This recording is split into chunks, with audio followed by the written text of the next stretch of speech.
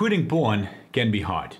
You probably know this because you've probably relapsed from time to time. And while I think that a relapse is not the end of the world, I like to talk about this. I've talked about this in a lot of previous videos. I always say, you know, a relapse doesn't mean that all progress is lost. Pick yourself back up and keep going. It is also true that a lot of people simply have some habits in their life. They, they have some things they do that makes them relapse more often than they have to. Number one is that you put yourself in the wrong environment. Try to think of it like this. Let's say you're losing weight, but you have your favorite food, your favorite snacks, which is like a junk food, cheeseburgers, lying right in front of you on your desk, like literally in front of you where you're sitting. How hard is it for you to actually lose weight in that scenario? It's going to be incredibly hard, right? Now imagine this.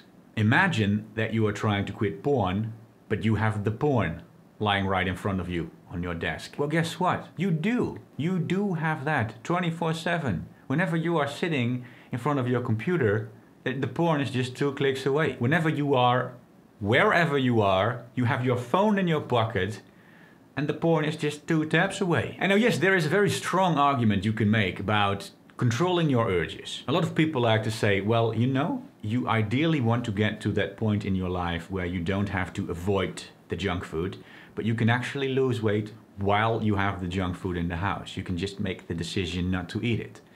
And ideally, you would not want to install something like a website blocker because you would ideally want to control yourself. And yes, true, 100% true. In fact, I am at that point in my life. Both when it comes to losing weight and when it comes to quitting porn, because I've done both. But at the same time, the scientific literature is 100% clear on the fact that when you are in the initial stages of trying to change, trying to unlearn a bad habit, trying to learn a new good habit, it fucking helps to give yourself a helping hand, to not have the junk food lying right in front of you, and to make sure that you do something like install a website blocker that prevents you from going to these websites. Over time, you will get to that point where you no longer need to avoid buying the junk food. You no longer need to have that website blocker installed all the time. But right now, if you if you're trying to quit and you're struggling, these things sure as hell can help you. Another thing that I think you should understand is that it's not just about actually like actively installing a website blocker, but it has but that it has a lot to do with your habits as well. Because you'll probably find that a lot of the time you have certain habits, like for example, and this is not just an example, but this is like the main one. You are browsing the internet, you are browsing your favorite website, or you are browsing social media, and you find that doing these things triggers your urges. And so when you think of environment and you know not doing the, the, the, things don't just think about like literally your environment and not literally having the porn in front of you but think about your habits as well. Try to recognize what environment habits you are doing, what environment you are putting yourself in digitally that is triggering your urges. And you know, if, if social media is triggering your urges, which it probably is, take some responsibility for yourself and don't do these things all the time. Maybe completely quit doing them. Maybe just don't do them at the times that you are weak that's something that you're going to have to decide for yourself. But take a good critical look at the habits that you do as well. Try to identify what habits trigger your urges and don't don't just keep doing them all the time. Number two, your reason to do nofap sucks. I often ask people that ask me questions, and then I ask them a question back, and I say, so why exactly are you doing nofap? And one thing that a lot of people say is, well, you told me that, that watching porn is bad. I watched a video of you that said porn was bad, so that's why I'm doing nofap. Or people say, my religion told me that is bad. But, but then whenever I ask them, okay, so yeah, that makes sense, but why exactly does your religion tell you that it's bad and do you agree with that? And then like 99% of the time, well, it's not that I actually have a sample size of a couple hundred, but most of the time, people are like, well, I, I don't know. I don't know why my religion says it's bad. It just says it's bad. And, and, and I don't know if I agree with that because I don't even know why it says it's bad. And you have to realize that this is like the worst reason to do something ever. If someone just tells you it's bad and you don't even know why it's bad, that's like literally the worst reason to do something ever. And even if you do know why it's bad, if you saw like one of my videos or another nofap video online and you were like, hey, that makes sense, you know, the whole dopamine thing and the whole sexual preference thing, that makes sense to me. I guess porn is bad. I guess I'm gonna have to quit it. Even that isn't a very good reason. Sure, it is nice to know that something's bad for you so you can look, start to make the decision that this is something you might not want to continue doing. But it should not be all that is driving you. Try to think of it like this. Let's say you have two people that want to quit smoking. And this one person, he wants to quit smoking because other people told him that smoking gives you lung cancer. And he's like, yeah, Makes sense. You know, I believe that. I, I trust the science. I guess that smoking is bad for you, so I might not want to do it. But he struggles to quit smoking because at the same time, it's like he knows that it's bad for him, but he just he doesn't really know why, but he just keeps doing it. And then the other person is this 18 year no, he's younger. He's 16. He's a 16 year old, not so wise kid. He smokes but he has a lifelong dream to become an athlete. And suddenly, when he ages one year up, he becomes a lot wiser than he was at 16, because now he's 17. And he starts to think to himself, wait a second. My lifelong dream is to become the best athlete in the world. If I quit smoking, I become a hell of a better athlete than I can be if I continue smoking. And so he's like, well, I'm going to quit smoking because that's what I want. And this guy has no trouble to quit smoking. Because the difference is the first person just had the negative motivation, and the second person had this thing that he was actually hyped about, this thing that he could actually work towards. And this is the thing that you, like with any type of, of habit change that you always see, like the, re, the best reasons to do something is a positive reason. This is why you see a lot of people that can't lose weight because these people just try to lose weight because, oh yeah, being fat is unhealthy, being fat is bad for you. But the people that are successful at losing weight, these are the people that are like, I want to become one sexy motherfucker. I want to get a perfect fucking body. And as, as, sometimes this is a superficial goal, but it doesn't matter because any positive goal is going to give you more motivation than a negative goal. And so you have to make sure that you get like the same type of goal when it comes to nofap. You shouldn't just do nofap because you've learned that watching too much porn is bad for you.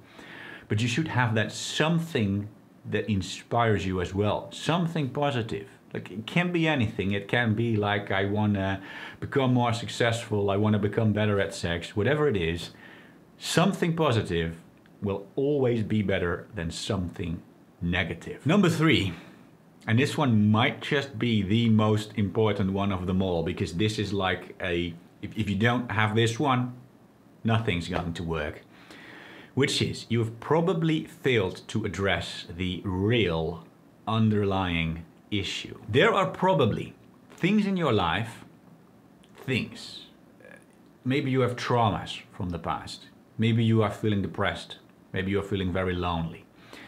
And these things keep pushing you back towards your addictive behavior. And as long as you do not try to actually address these things and actually try to figure out what they are and try to fix them, then no amount of tips and tricks is ever going to be enough. You need to go to the underlying issue. Now, someone who specializes in helping men find these causes fast and effectively is Josh Hudson from Pinnacle of Man. Let's hop to Josh himself so you can see how you can do this. How you doing? My name is Josh Hudson. I'm a licensed therapist with over eight years, is it eight years?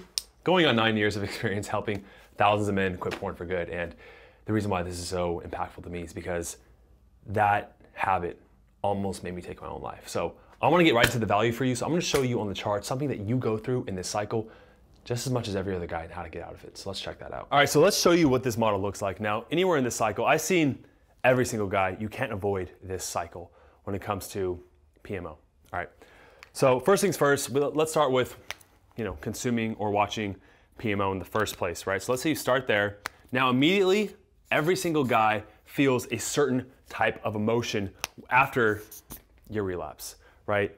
What is it? For you, it's either guilt, it's shame, it's just feeling regretful. It's feeling low vibration level emotions, okay?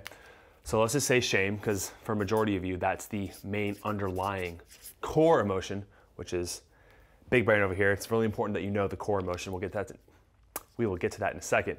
So, but after you feel these low level emotions, do you want to go outside, say what's up to that cute girl, or go interact with people? No. You want to isolate yourself. You want to go away. You feel bad. You feel awful. You don't want to be around others. So that leads to the next one, which is the sense of isolation that you experience. Now, actually, a study showed that isolation and loneliness was more damaging to your health than if you smoked a pack of cigarettes a day. That's how bad isolation is. We are social creatures. We flourish when we're around others. Okay? But when you isolate, that's what leads to depression, that's what leads to anxiety. And overall, that's what leads to cognitive stress. Okay? Cognitive stress. We'll just say stress right here. Okay? Now, when you're stressed out, when you're anxious, or you're feeling depressed, tell me how you relieve that emotion. What activity do you do? Maybe it's other things, but one of the things that majority of men do who are in this cycle, they go right back to the one thing that damages them in the first place. Now you can see how this whole entire vicious circle repeats and repeats and repeats until you go to your metaphorical hell. And that's why I had a client say to me one time, he says, Josh, watching porn was like a demon entering into my soul every time I opened that laptop. Was that portal for demons to enter into my soul. So what do you do? Well, look, man, you have to find the source of your urges because things like cold showers, right? Things like, I don't know, meditation, they're, all these things that you've tried, they're good. They help. I'm not saying they don't help, all right? But the thing is, I want you to, let's draw a little metaphor. I want you to imagine right now, there's like this water dripping down on the top of your head from the ceiling, just dripping down, dripping down. And you're like, okay, I'm gonna get some duct tape and put it over. And that water dripping down is equivalent to the energy of an urge. And that duct tape are these things it's the cold showers, it's the meditation, it's everything else. What's gonna happen over time when the water builds and builds and builds? All that energy, that urge that you're repressing, it's gonna explode and you're gonna relapse every single time. And that's why you do. But instead, when you use the HCT technique, which I'll show you about in a second, what that does is you go to the source of the urge. You go to the source of where that water leak is. You fix it at the source, and the leak stops, the urge stops, and you stop watching porn. You exit out of this whole entire cycle. And the way we do this, HCT goes to the source of the urge. It deals with the core levels of shame. It helps you connect with other men in the group. And it also helps you give you positive habits day by day to reduce the amount of urges and stress and triggers you have. So finally, you quit this for good. Now, the best way to apply the HCT technique is to join my program, the Dopamine Discipline Program. When you go through this program, all those things that I addressed, the shame, we go to that shame, that source of that core problem that creates those urges, and we eliminate that. We give you a group of other men to connect with, to support you and hold you accountable day by day. And we also have licensed coaches and myself doing group calls and also individual 24 7 support through the Facebook group. This is the most comprehensive, best program in the world to quit porn. And all the results you're seeing pop up on the screen are proof of that. We have literally over a thousand men who have joined this program and are quitting porn every single day. So if you want to finally do something different and stop doing the same thing over and over, expecting a different result, to finally grab back your life, to become the man you are meant to be, to achieve the goals you're supposed to, find the woman you're supposed to, it's on the other side of this habit. Now, if you want to join this program, Rob's going to show you exactly how to do that. Thanks, Josh. Yes, I will. Guys, I wanted to say When I started this YouTube channel, I sort of set a rule for myself that I would like to maintain my integrity. I always told myself I am never going to promote any products that I could have not just randomly promoted when there wasn't anything in it for me. You know, I, I never want to promote anything for just the sake of getting money. I only truly want to promote things that I think can genuinely help people out on the aspect that I'm trying to help people with. Now, when it comes to this program, I've actually had the privilege of checking out the program myself. I actually went through the program myself and I genuinely think that this is something that can help people. If you are someone that is constantly struggling to quit porn, it just doesn't seem to work for you, and you think that perhaps you could use a helping hand, then this program might definitely be a solution to you. It's very simple. I have a link in the description of this video. I'll leave a link in a pinned comment as well. If you think that this is something that can help you out, then I really recommend that you check out these links.